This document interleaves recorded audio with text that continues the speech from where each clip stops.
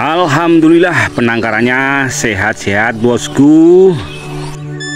Burung elang Raja di daratan dan Raja angkasa Ini berhasil menetaskan dua ekor anak.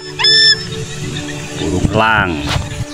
Mudah-mudahan bisa tumbuh dengan sehat sampai dewasa dan dapat lulus dari seleksi alam.